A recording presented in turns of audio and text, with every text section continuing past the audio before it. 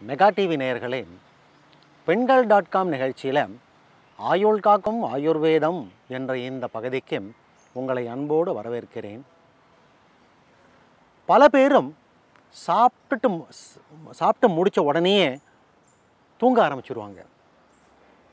இது வந்து ஒரு சாபமா அப்படின்னு நீங்கள் கேட்டால் அதெல்லாம் கிடையாது. சாப்பாட்டுக்கு பிறகு அதுவும் மதிய உணவிற்கு பிறகு நிறைய பேர் அரசு அலுவலகங்கள் ஆகட்டும் பள்ளிகள் ஆகட்டும் கல்லூரிகளில் வேலை செய்யக்கூடிய ஆசிரியர்கள் ஆகட்டும் அரசு அதிகாரிகள் ஆகட்டும் ஆட்சி பீடத்தில் இருக்கக்கூடியவர்கள் ஆகட்டும் யாராக இருந்தாலும் எல்லோரும் மனிதர்கள் தானே இந்த சாப்பாட்டுக்கு பிறகு நீங்கள் பார்க்கலாம். பல பேருக்கும் தூக்கம் சும்மா அப்படியே தூக்கி அடிக்கும். அவங்களால வேலை செய்ய முடியாது.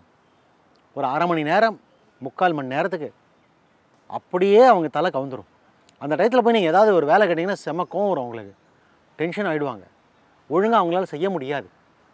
மூளையிலிருந்து செரட்டோனின் அப்படின்னு சொல்லக்கூடிய ஒரு சுரப்பி நிறைய அந்த ஹார்மோன் இறங்குறதுனால தான் இந்த சாப்பாட்டுக்கு பிறகு தூக்கத்திற்கான காரணம் என்று ஆராய்ச்சியாளர்கள் கண்டுபிடித்து சொல்கிறார்கள் அதனால தான் என்னமோ தெரியல ஆயுர்வேதம் சாப்பாட்டுக்கு பிறகு ரெண்டு வெத்தலை போடணும்னு சொல்கிறது இந்த வெத்தலை எடுப்பாங்க. நீங்கள் ஒவ்வொரு சாப்பாட்டு பிறகும் முக்கியமாக தஞ்சாவூர் கும்பகோணம் அந்த மாதிரி பகுதிகளில் நீங்கள் பார்க்கலாம். இந்த வெத்தலையை போடாதவங்க இருக்கவே மாட்டாங்க. தொண்ணூறு பர்சன்ட் ஆஃப் ஜனங்கள் போடுவாங்க.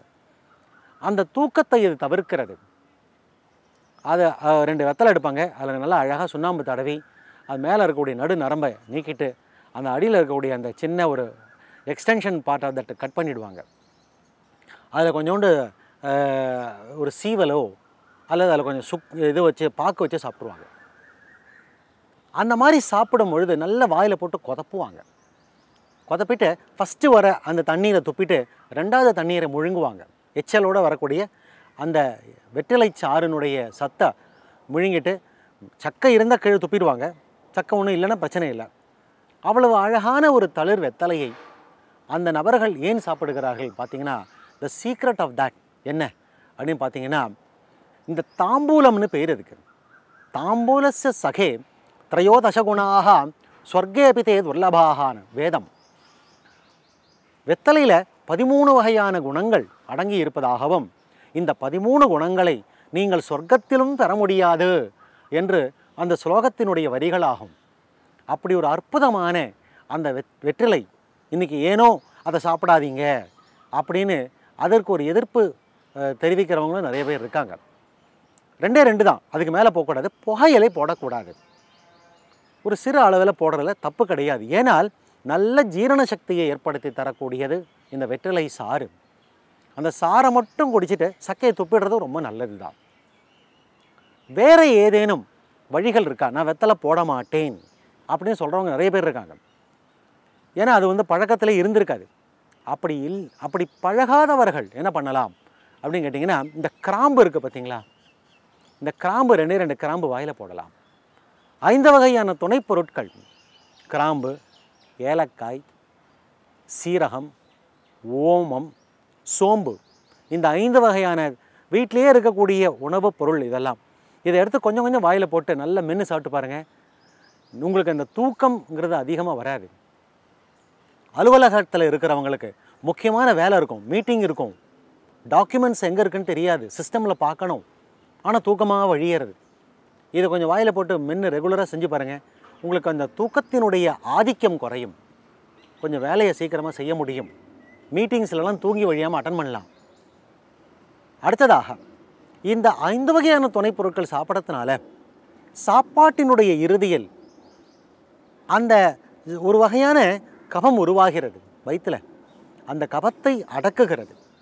அப்படி அடக்கும் பொழுது அதனால் தூக்கம் வருவதில்லை அப்படிங்கிறதும் கண்டுபிடிக்கப்பட்டிருக்கு ஆயுர்வேதத்தின் மூலமாக. இதில் வேற ஏதேனும் மேம்பாடு செய்ய முடியுமா அப்படின்னு பார்த்தீங்கன்னா இந்த ஆயுர்வேதத்தில் மூக்கில் விடுறதுக்கு ஒரு எண்ணெய் கொடுப்போம். அந்த எண்ணெயை ரெண்டு சொட்டு மூக்கில் விட்டுருப்பாங்க. அதாவது சிரித்தால் அழுதால் வாயை கொப்பளிச்சா சாப்பாட்டுக்கு பிறகு அப்படின்னு பதிந்து பதினைந்து வகையான நேரம் காலங்களில் இந்த மூக்கில் எண்ணெய் விடுறது ஒரு சம்பிரதாயம் சுமார் ஒரு தலைமுறைக்கு முன்னாடி வரையும் இருந்தது. எல்லாரும் அதை பண்ணிப்பாங்க. ஒரு ரெண்டே ரெண்டு சொட்டு மூக்கில் விட்டு உரிவாங்க. உரிஞ்சு கொஞ்சம் நேரம் கழித்து பார்த்தீங்கன்னா தொண்டைக்கு வரும் காரி தொப்பிடுவாங்க. அற்புதமான ஒரு மூலிகை தைலம். அதை பண்ணுறதுனால கழுத்தினுடைய வலி நீங்குகிறது தோள்பட்டையில் இருக்கக்கூடிய வலி நீங்குகிறது சைனசைட்டிஸ்னு சொல்லக்கூடிய நீர் கோர்வையானது குணமாகிறது. நாக்கில் ருசி கோலங்கள் எல்லாம் திறந்து விடுகின்றன. நீங்கள் மூளையிலிருந்து வரக்கூடிய அந்த செரட்டோனின் செக்ரேஷனை வந்து அளவு அளவுக்கு அதிகமாக சுரக்காமல் அதை கட்டுப்படுத்துகிறது. இப்படி எண்ணற்ற செயல்களை செய்யக்கூடிய அற்புதமான ஒரு மூலிகை தைலமும் உணவிற்கு பிறகு பரிந்துரை செய்யப்படுகிறது. ஆயுர்வேதத்தின் மூலமாக. நாசிகாச்சூர்ணம்னு ஒன்று பண்ணுவாங்க. ஒரு வகையான மூக்கு பொடி அது. இதில் நீங்கள் நினைக்கிற மாதிரி அந்த இந்த புகையிலை அல்ல அது. வெறும் மூலிகைகளால் தயாரிக்கப்பட்ட ஒரு சூரண மருந்து. அதை வந்து ரொம்ப கேரள தேசத்தில் ரொம்ப பிரசித்தமானது. இது என்ன பண்ணுவாங்க? வா மூக்கில் வச்சு இப்படி சர் சர்னு உரிவாங்க. உறிஞ்சோம்னா உள்ளே இருக்கக்கூடிய நீரெல்லாம் வெளில கொட்டும். கொஞ்சம் ஒரு ரெண்டு மூணு தடவை தும்மல் வரும். ரொம்ப வாசனையாக இருக்கும். அதனாலேயும் அதிகமான தூக்கத்தை நாம் தவிர்க்க இயலும். வெறுமனே நீங்கள் ஒரு சு- ஒரு ஒரு ஒரு- ஒரு அரை டம்ளர் சுடுதண்ணியை வாயில் போட்டு நல்லா கொப்பளித்து துப்பிடுங்க. சாப்பாட்டுக்கு பிறகு. இதுக்கு சுகோதகம்னு பேர். நல்ல இளஞ்சூடான தண்ணீரை வாயில் விட்டு நல்லா கொப்பளிக்கிறது. கொப்பளித்து துப்பிட்டிங்கன்னா அந்த உணவின் மூலமாக வாயில் இருக்கக்கூடிய அழுக்குகள் எல்லாம் நீங்கி விடுகின்றன. ருசியானது மேம்படுகிறது. வாய்க்கு ஒரு வக்திரலாகவம்னு சொல்லக்கூடிய வாய் மெது ஒரு லேசான தன்மையை பெறுகிறது. இப்படி சுலபமான கை வைத்திய முறைகளையெல்லாம் ஆயுர்வேதத்தின் மூலமாக பரிந்துரை செய்யப்பட்டு அந்த காலங்களில் ரொம்பவும் பாப்புலராக இருந்த ஒரு சிஸ்டம் ஆஃப் மெடிசின் இது.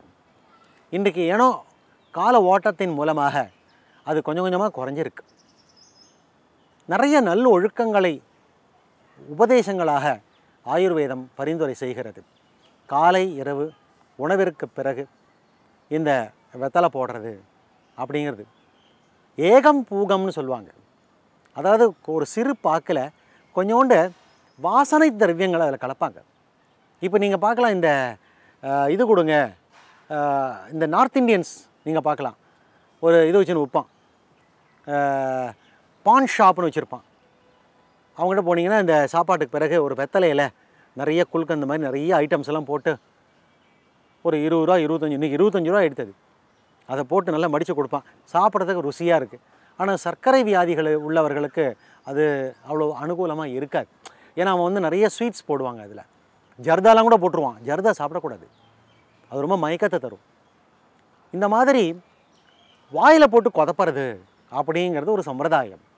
அந்த காலங்கள் இருந்தது. ஆனால் கண்ட இடத்துல துப்பக்கூடாது. ஏன்னா இன்றைக்கி நிறைய அலுவலகங்கள்ல நம்ம பார்க்குறோம். கண்ட இடத்துல துப்பி துப்பி பண்ணுறாங்க தவறு அது. எப்பொழுதுமே நம்ம அந்த ஒழுக்கத்தை விடக்கூடாது. ரொம்ப டிசிப்ளின்டாக இருக்கணும். அந்த மாதிரி உணவினுடைய பெருமையையும் ஒரு உணவிற்கு பிறகு செய்யக்கூடிய செயல்பாட்டுகளின் மூலமாக அந்த உணவினுடைய சத்தானது நன்றாக உள்வாங்கப்பட்டு அது சாரம் என்றும் கிட்டம் என்றும் பெறுகிறது. சாரம்னா சத்து கிட்டம்னா வேஸ்ட்டுன்னு அர்த்தம். இந்த எக்ஸ்கிரீட்டாஸ்ன்னு சொல்கிறோம் இல்லையா? அதாவது சிறுநீராகவும் மலமாகவும் பிரிகிறது வியர்வையாக பிரிகிறது. உடம்புல இருந்து ஒரு தேவையில்லாத அழுக்குகளை பிரித்தெடுக்கக்கூடிய திறமையும் அந்த சத்தினுடைய வரவை முழுவதுமாக உள்வாங்கக்கூடிய சிறப்பையும் இது போன்ற உணவிற்கு பிறகு செய்யக்கூடிய சிறு சிறு செயல்களின் மூலமாக நாம் மேம்படுத்திக் கொள்கிறோம். கல்லீரல் ஆகட்டும் மண்ணீரல் ஆகட்டும் நுரையீரல் ஆகட்டும் அத்தனை கேந்திரங்களும் வெகு சிறப்பாக செய்யக்கூடிய ஒரு செயல்பாட்டினை ஒரு சின்ன வெத்தலை சாப்பிடத்தினால நீங்கள் பெறலாம். இந்த கல்லீரல் இருக்குது பார்த்தீங்களா?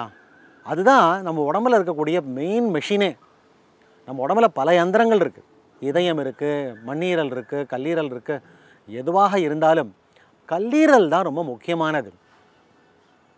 ஒரு சமீபத்தில் ஒருத்தர் வந்திருந்தார். வெளியில் எங்கேயோ போய் சாப்பிட்ருக்காரு ஆறிப்போன ஒரு உணவை சாப்பிட்டுட்டு இப்போ கடைசியில் என்னடான்னா அவருக்கு ஹெப்பாட்டிட்டிஸ் ஏ வைரஸ் பாதிச்சிருச்சு. ஹெப்பாட்டிட்டிஸ் ஏ வைரஸ் வந்து அது உணவின் மூலமாகத்தான் வரும். மிக்கவாறும் உணவின் மூலமாகத்தான் வரும் அது. அதனால் இப்போ அவருடைய கல்லீரல் இல்லை அந்த வ- அந்த அந்த வைரல் லோடு ஜாஸ்தியாகி ரொம்ப கஷ்டப்படுறாரு. சிறு வயது இருபத்தஞ்சி இருபத்தாறு வயசு தான் இருக்கும். அந்த கல்லீரல் பாதிச்சிருச்சுன்னா கால கால ஓட்டத்தில் அது அப்படியே நார் நாராக போயிடும் அதனால் ரொம்ப ஆபத்தும் காத்திருக்கிறது. அதனால் கல்லீரல் பாதுகாப்பு எப்படி அப்படிங்கிறதையும் நம்ம கவனிக்கணும். அதற்கான வழிமுறைகள் என்ன அப்படிங்கிறதும் சொல்லப்பட்டிருக்கு. அதனால் உணவிற்கு பிறகு நாம் எதை சாப்பிட்டால் ஆரோக்கியமாக இருக்கலாம் அப்படிங்கிற ஒரு தலைப்பில் இந்த எபிசோடை நாம் செய்து கொள்ளலாம்னு சொல்லி உங்களிடமிருந்து விடைபெறுகிறேன். நன்றி வணக்கம்.